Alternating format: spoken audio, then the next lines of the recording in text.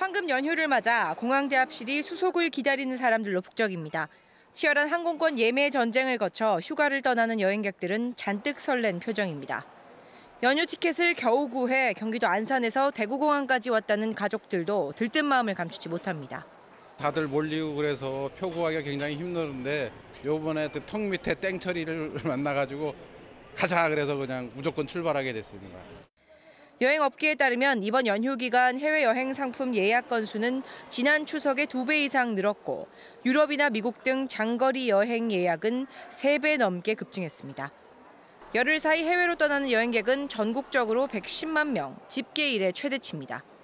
긴 연휴에 추석 당일까지 고향에서 보내더라도 시간 여유가 많다 보니 제주도 등 국내 여행지나 가까운 일본 등으로 짧은 여행을 떠나는 이들이 많습니다.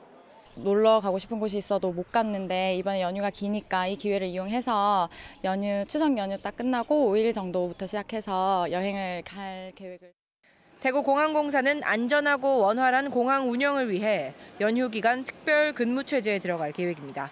TBC 박정입니다.